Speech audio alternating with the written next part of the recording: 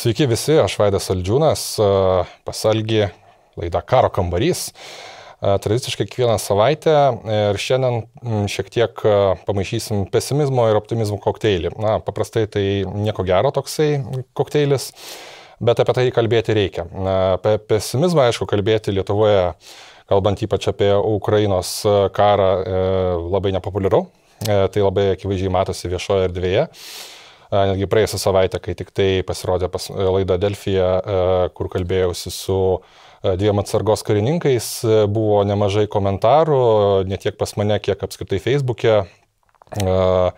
Daug vertinimų pasirodė dėl būtent to požiūrio, apie kurį jau nekartą esame kalbėję, apie tai, kad na, Ukrainai nesiseka šitas kontrpolimas, jisai stringa ir yra objektyvių priežasčių, jų yra ne viena bet Lietuvoje labai mėgstama e, išskirti juodą baltą, absoliutinti viską ir suversti kaltę e, na, į vieną ar į kitą pusę, išskirti kažką tai ir labai nemėgstama kalbėti ir apie kitus dalykus, kurie galbūt nepopuliarūs.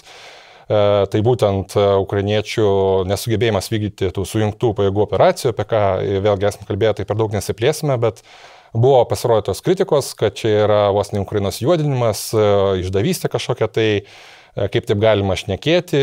Tikroji priežastis yra ta, kad Ukrainai trūksta ginkluotės, kad Ukrainai vakarai nepadeda arba padeda per mažai, vėluoja. E, aišku, yra ir tame tiesos dėl vakarų karinės paramos, bet kai nenorima girdėti, tų na, objektyvių arba tebūnie subjektyvių pastebėjimų dėl to, kaip ukrainiečiai kariauja, kaip jie keičia savo taktiką ir kodėl tai daro.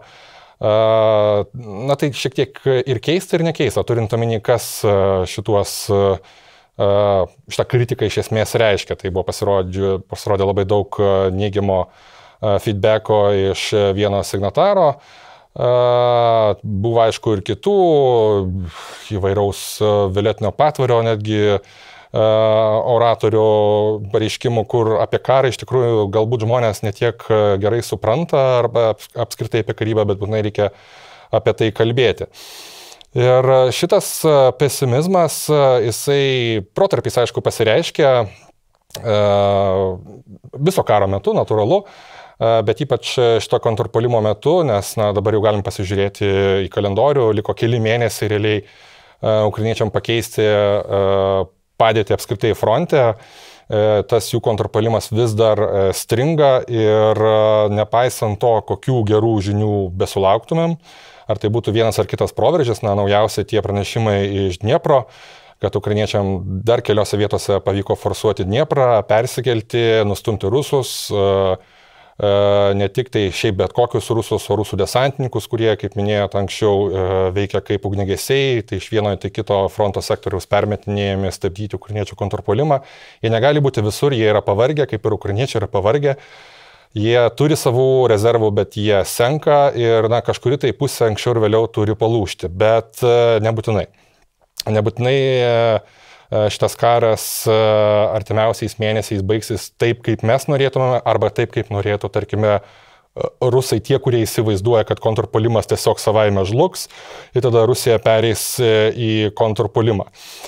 Kalbant apie tą Dniepro forsavimą, tai na, buvo vienas straipsnis pasirodęs labai neblogas tuo, kad netgi ukrainiečių specialių operacijų pajėgoms, tai yra tiems e, elitiniams iš tikrųjų daliniams, kuriuos beje treniravo ir Lietuvos specialių operacijų pajėgų e, kariai, netgi jiems nepavyksta vykdyti tokių operacijų, kokias jie vykdydavo karo pradžioje. Tai reiškia, norint perskelti į priešo teritoriją ir vykdyti operacijas priešo gilumoje, e, tos pačios problemos kaip ir konvencinėme polime jos išlieka, tai yra milžiniški minų laukai, tai tu tiesiog negali pereiti į priešo pusę, nes viskas yra užminuota, jeigu tu bandai eiti su išminavimo įranga, neždamasi su savim, tu vis tiek rizikuoji užsirauti ant minos, o minos detonavimas iš karto pritraukia dėmesį ir tavo visą grupę gali uh, tiesiog vietoje padengti artileriją arba iš oro sunaikinti ir to visa operacija žlunga. Todėl ukrainiečių specialių operacijų pajėgų kariai irgi toks įdomus momentas, ką jie daro, tai jie šiuo metu daugiau užsijama, na bent jau tom Zaporižės fronte, tai rusų elektroninės kovos priemonių naikinimu, tiesioginiu fiziniu naikinimu, ne šiaip slopinimu, bet naikinimu. E, šios operacijos yra svarbios ir ypatingos tuom, kas konkrečiai atakuojame. Mes šiek tiek esame kalbėję apie tai, su Algiu buvo iškeltas klausimas šitas, o iš tikrųjų Haimarsai gali būti slopinami. Tai Dabar kaip ir visuotinai pripažinta, kad taip juos galima slopinti, nes rusai e, ne tik, kad turi tų elektroninės kovos priemonių, jie jų turėjo iki karo, jie turėjo karo pradžioje, tiesiog efektyviai nesugebėjo jų tada naudoti. E, dabar Rusijos armija yra visai kitokia negu buvo karo pradžioje, apie tai šiek tiek dar irgi išsiplėsim, bet e, taip kaip jie dabar naudoja, bandant slopinti tiek Haimars palydžiamų raketų, netgi kalbame apie Storm Shadow, raketų bandymai, bandymus jos nu, nuslopinti, e, tai, reikia, tai reiškia nukreipti nuo taikymo, slopinant GPS signalus. E, nepaisant to, kad Storm Shadow ir Scalp raketos jos turi taip pat vidinės navigacijos e, sistemas, kur nebūtinai jų taip lengvai nuslop, nuslopinsi.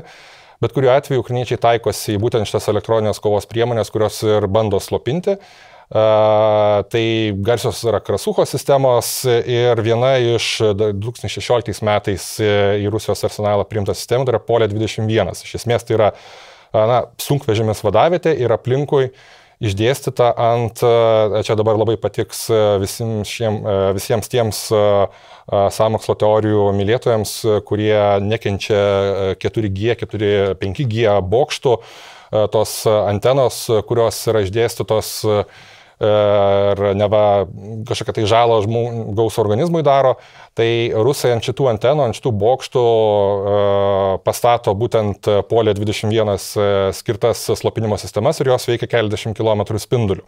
Na ir ukrainiečiai, konkrečiai specialių operacijų pajėgos, jie e, stengiasi visus tuos bokštus, tiksliau viršūnėse įtvirtintas e, šitas sistemas fiziškai sunaikinti savižudžiais dronais. Ir kai tik tai pavyksta tai padaryti, aišku, rusai gali gražinti atgal, pastatyti, to, tų rezervų jie turi, bet per tą laiko langą ukrainiečiai gali surenkti sėkmingą ar tai Haimarso ataką, arba kažkokią tai kitą ataką, kur būtų vėl taikomas į strateginius objektus, ar tai pačiame fronte, ar fronto gilumoje, ypač kalbant apie Krymą. Buvo tų sėkmingų dronų atakų, e, aišku, Kryme prieš tuos strateginius tiltus, e, kurie, kuriais rusai gabena savo visas logistinės vilksnės ir, ir, ir, ir sugeba aprūpinti toliau frontą. Tai šitas žaidimas tęsiasi jau kurį laiką. Kol kas didelio kažkokio tai poveikio, tokio lemiamo poveikio, kuris leistų kontrpolimui įsivažiuoti, mes dar nematome. Taip yra tų, tų problemų dėl rusų konkrečiai aprūpinimo ir visi tie smūgiai gali būti sėkmingi, bet po truputį, po truputį taip graužiama gynyba, galbūt, tikimasi, kad galbūt subirės, bet tai nėra garantuota. E, ypač kalbant apie Dniepro forsavimą, nes e, net jeigu sugriaus Kahovkos užtvanka, e, daug yra išsausėjusių plotų, kur atrodytų galėtų ukrainiečiai persikelti, bet visi šitie prasilaužimai, užėmimas platsdarmo, jie yra puikiai matomi Rusijos žvalgybai ir kol kas jie vis dar sustabdomi. Tai tiek ties Dniepro, tiek ties Zaporižės E, šitomis pagrindinėmis polimo kryptimis ukrainiečiam dar nepavyko prasilaužti. Beje, kalbant apie e, Dniepro forsavimą, e, toks irgi įdomus pastebėjimas.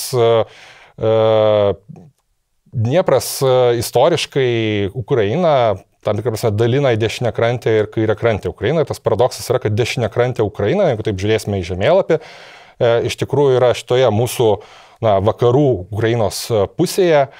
Tai yra istoriškai susiklostęs, negi terminas galima sakyti, ties iš 17 amžiaus, kai vyko Khmelnytskio sukilimas prieš Lenkijos Lietuvos valstybę beje.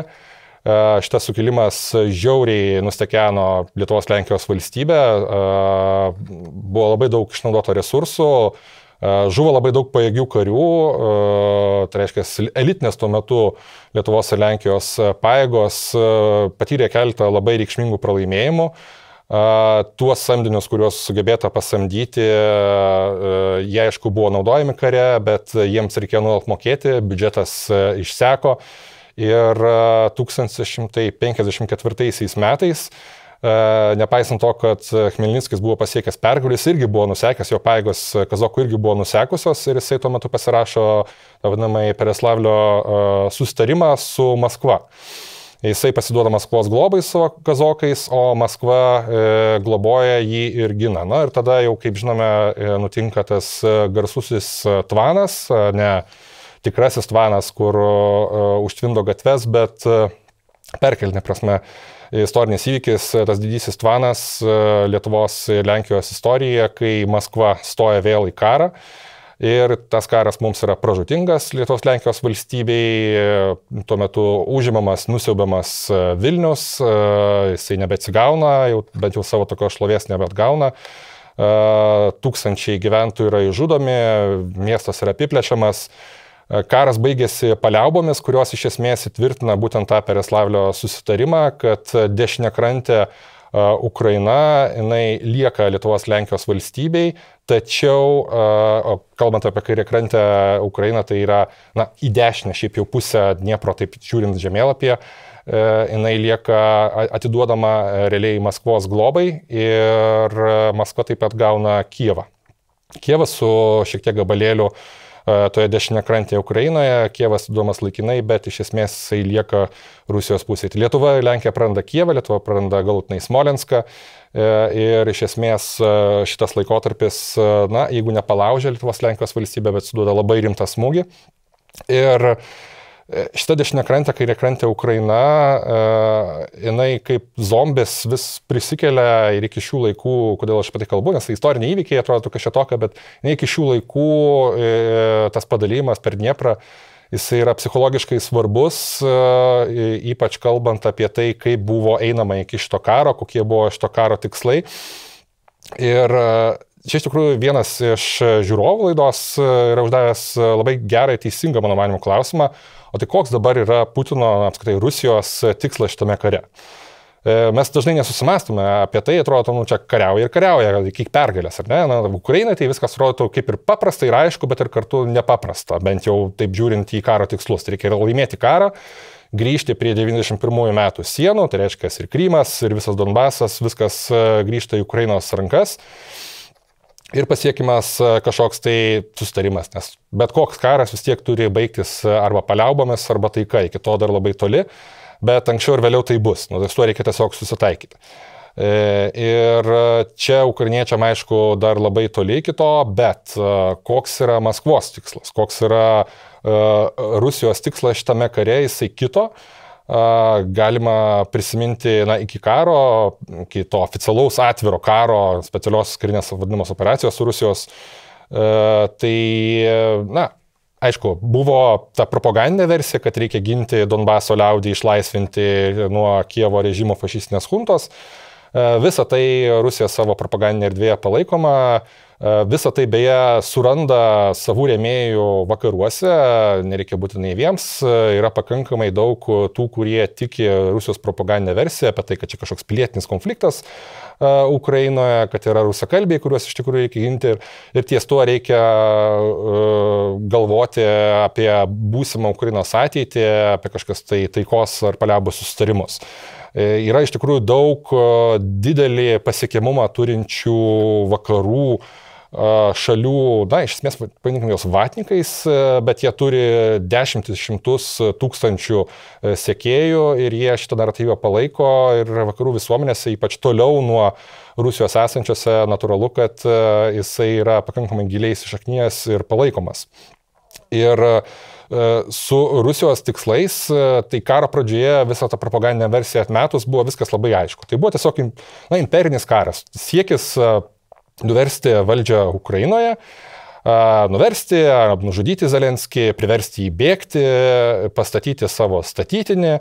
Ir net jeigu Ukraina ir būtų egzistavusi, tai geriausiu atveju tai būtų tapęs kaip, na, panašus kaip Gruzijos variantas. Aš vadinu tai šitą šalį dabar Gruzija, manau, pelnytai, nes, na, Sakartvelas, kurį mes kaip įpratome vartoti, vis dėlto man kažkaip asocijuojasi su ta šalimi, kuri 2003 metais bandė kariauti su Rusija, nepavyko.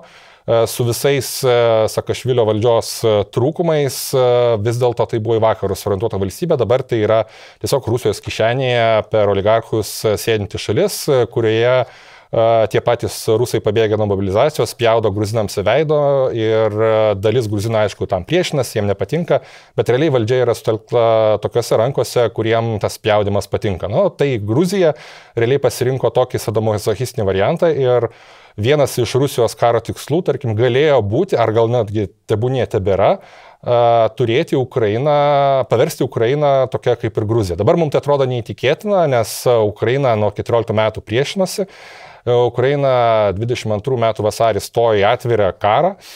Mes visi puikiai prisimename, kokia buvo apskritai palaikymo banga, buvo ir siaubo momentas, buvo daug nerimo dėl Ukrainos, ypač tomis pirmosiomis dienomis, pirmosiomis savaitėmis mes visi norėjome sirgti ir sirgome už Ukrainą, natūralu, ir dėl to, kad na, mes tiesiog natūraliai palaikome Ukrainą prieš Rusiją, bet ir kalbant apie platesnę vakarų apskaitai visuomenę, tai toks natūralus noras sirgti už underdogą, kuris e, priešinas ir sugeba sėkmingai pasirodyti kare prieš atrodytų, na, neįsivaizduojamą milžinišką galę. Dėl to tos visos prognozės beje neoficialiai skeltos, ne taip kaip dabar mėgstama sakyti, kad uh, Ukrainai buvo duotos 72 valandos ir būtų nekritusi. Tai buvo uh, daug taip manančiųjų, bet uh, na, visi žinome, kuo tai baigėsi, ta sėkminga trijų dienų ar net kelių savaičių specialioji operacija, štai ir daugiau negu pusantrų metų. Ir uh, nepanašu, kad ne artimiausių metų pasibaigs. Bet kuriuo atveju visi šitie Maskvos tikslai, kokie jie bebūtų buvę uh, tuo metu, užimti Kievą, uh, jie aišku labai greitai pasikeitė. Uh, ką tuomet daryti, tai tuomet grįžta prie tos oficialios versijos, reikia ginti Donbasą, Donbaso liaudį. Ir vakaruose tai interpretuota ir pas mus interpretuota kaip vienas iš iki karo svarstytų scenarijų, kad reikia atplėšti Ukrainos žemės, konkrečiai ne tik tai visą Donbasą, bet ir visą pakrantę, kur skalauja Jodoji jūra. Tai yra užimti iki pat Odesos, o, o geriausiu atveju palikti Ukrainą iš viso be išeimo prie jūros. O jeigu jau ukrainiečiai priešinsis, norės priešintis toliau, tai tebūnie turi savo tą valstybę su Kievo ar be Kievo, kažkokią tai marionetinę pusę valstybę, e, tokią valstybę, kokią Maskva beje 18 amžiuje turėjo e, Lietuvos Lenkijos valstybės pavydalu bent jau pradžioje. E, iš istorijos, kas prisimena nebylų į Seimą, kai realiai sąlygas diktavo Maskva. Tai tokį variantą Maskva galėjo tikėtis ir galbūt nori dar turėti. Bet realiai pasižiūrėjus, karas tęsiasi, jisai niekur nesislenka, taip ukrainiečiams nesiseka kontratakuoti kol kas, atsimti savo tų teritorijų, taip kaip pavyko e, pernai vasarą, dėl tų priežasčių, apie kurias mes tikrai nekartą kalbėjome. Bet e, e, kai tokia yra patinė situacija, kai viskas eina į rudenį, į Rasputicą, kai keliai pažliuks ir vėl polimo nebus įmanoma vykdyti taip sėkmingai, kaip galbūt būtų įmanoma dabar,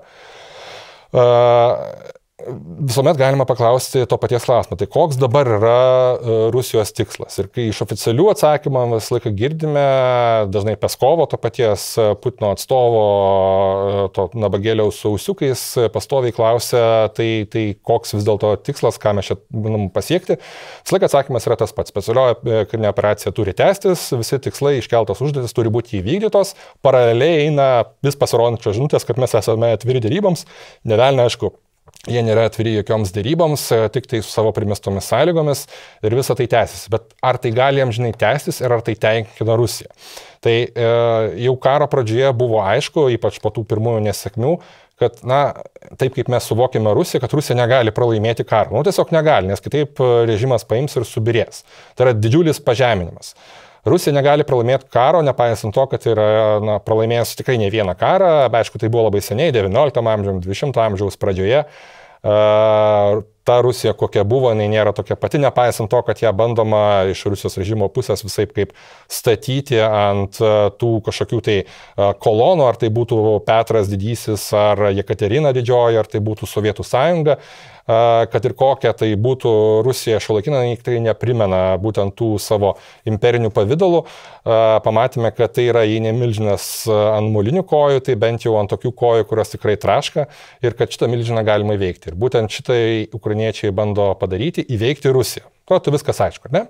Gerai, bet jeigu tau, kaip Rusijai, nesiseka įveikti, jeigu tu sakai, kad e, Rusija kariauja su visais, kaip jie mėgsta sakyti, kolektyviniais vakarais, ką šiandien Šoigu pakartojo, e, vėl mesdamas tą savo dozę, kad čia yra eskalacija kažkokia, tai, na, ką tu tokiu atveju toliau gali padaryti. Tai mano požiūriu viskas yra ne tiek paprasta, kiek pesimistiška, kad Rusijai užtenka palaikyti uh, tą padėtį, kokia jinai yra dabar, tai yra išaldyti karą, nebūtinai taip, kaip buvo išaldytas Gruzijos, na, kadangi Gruzijos karas su Rusijai baigėsi sėkmingai, jinai užgrobė teritorijas, tenai iki šiol laiko savo karius, jos teritorijos yra okupuotos, visi praktiškai vietinės gyventojai, na, tie gruzinai, kurie yra išvaryti, tai aišku, ten jie nebeturi rusiškų pasų, bet tie visi vietinės atinai apkazai, jie turi rusiškus pasus, iš esmės yra Rusijos teritorijos, nepaisant tos formalios nepriklausomybės. E, kurios beje praktiškai niekas nepripažįsta tų teritorijų, nes tai yra vis dėlto pagal tarptautinę teisę Gruzijos dalis. Bet kuriuo atveju e, Rusijai bandyti padaryti kažką tai tokio dabar, na, sunkiai tikėtina, bet ateityje, kodėlgi ne. Jeigu Gruzija sugebėjo pasukti prorusiškų kelių po karo, dabar mes minime 15-asias Gruzijos karo metinės, tai kodėl to negalėtų padaryti Ukraina? Tokia yra viltis. Nes, pripažinkime, kad ir koks Zelenskis būtų efektyvus, nuostabus oratorius ir viršėjęs visus lūkesčius, jisai amžinai nebus valdžioje. Taip, Putinas irgi nebus amžinai valdžioje, bet ir Zelenskis amžinai nebus valdžioje. Ar jisai laimėtų, ar Ukraina pralaimėtų, tikėtina, kad anksčiau ir vėliau jisai vis tiek pasitrauks ir kažkas ateis į jo vietą. Manimas, kad Ukraina jau niekada nebegrįš į Rusijos glėbį yra labai, labai teisingas, bet jisai nebūtinai atitiks tų realijų, kurios gali būti po kelių metų, taip kaip mes dabar įsivaizduojame. Nes šitas karas yra sekinantis, jisai yra ne tik tai, kad žiaurus, jisai ne tik tai, kad suvienijo Ukrainos visuomenę, pakeitė ją, ar apskaitai vakarų šalių požiūrį, tai yra daugiau tikėjimo dalykas. Taip, kaip atrodys Ukraina po karo ir ką pasirinks kokį kryptį, nebūtinai atitinka tuos lūkesčius, kuriuos mes šiandien turime. Atrodo, dabar mažai tik iš tikrųjų tikėtina, bet dėja reikia pripažinti, turint omeny Gruzijos pavyzdį, kad tai yra viena iš galimybių.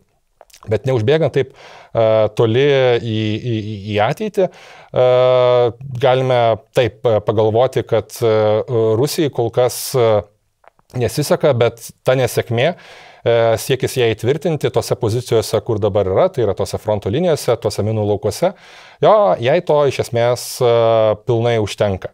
Aišku, sunku būtų uh, įvardinti kažkokią tai materialinę ar, ar kitokią naudą Rusijai, nes nu, kam jai yra reikalingas Donbasas. Uh, karo pradžioje dar šitas klausimas buvo kilęs ir jis iki šiol nėra atsakytas. Nes uh, atrodo taip, ten yra ir gamtiniai ištekliai ir visa kita, ir miestus sugriautus galima atstatyti, galima išvokti atstatymui skirtas lėšas, ką mes matėme ir Mariupolėje, E, ir kitose okupuotose miestuose, bet e, kam iš esmės turėti tokią teritoriją, kam iš, iš esmės turėti tokią priešišką Ukrainą, e, kuri gali iki šiol pasiekti visus rusų okupuotus miestus savo ginklais ir toliau turės tą galimybę ir matyt turės tos galimybės dar daugiau. Tai viena iš sąlygų šitai Rusijos na, status quo įtvirtinimo iš esmės yra, ką visai neseniai, gal netgi šiandien iš tikrųjų parašė vienas iš rašystų, atvirai rašystinis, nu, rašystinis blogeris, pakankamai gerai žinomas, dėl savo šiaip jau pakankamai profesionalaus požiūrio į aviaciją, tai yra Fighter Bomberis, savo Telegram kanale, jis yra pakankamai pagarsėjęs kaip Rusijos pajėgų rėmėjas, sutelkiantis finansinę paramą, duodantis rusų pilotams įvairią, perdodantis įvairią sutelktinę paramą. Ir jo mintis iš esmės tokia yra, kad nesvarbu, kad ir kaip pasibaigs šitas karas dabar, kuo ir kokiuose geografinėse taškuose, tikslas yra atstatyti Rusijos kariuomenę, pasimokyti iš tų pamokų. Jeigu 2008 m. Gruzijos karas parodė Rusijos na, tikrai didelės skilės, kad tai buvo nepaisant to, kad ta kariuomenė sugebėjo laimėti karą, bet jinai buvo apvirktinos būklės. Ta prasidėjo garsiosios Serdikovo reformos, kur aišku pagal rusišką tradiciją buvo viskas, na ne viskas, bet buvo labai daug kas išvokta. Bet kuriuo atveju Rusijos apskritai karinės pajėgos tapo modernesnės, bet tas modernumas na, turėjo, sakoma, savo žvaigždutę, savų sąlygų, kad visas tas pasirengimas pasirodė pilnu gražumu būtent 22 metų vasario 24. -ąją taip kaip rusai pradėjo ir vykdė savo operaciją, tą specialiją, e, jie turėjo galimybių taip Ukrainą įveikti tuo metu, Ukraina daug kur pasisekė, e, bet e, iš esmės tai, tai nebuvo ta kariuomenė, kokia buvo sugalvota, tai nebuvo tos karinės pajėgos, kokios buvo sugalvotos, kalbant apie Rusiją, kad negalėtų kariauti 21 amžiaus karą iš oro, vandens ir sausumoje. E, vykdytų tas žaibiškas operacijas ir sugebėtų suduoti triuškinantį smūgį. Iki šiol to nesugeba padaryti. E, pažiūrėkime, kas e, vyksta pačioje Ukrainoje. Zelenskis apsilanko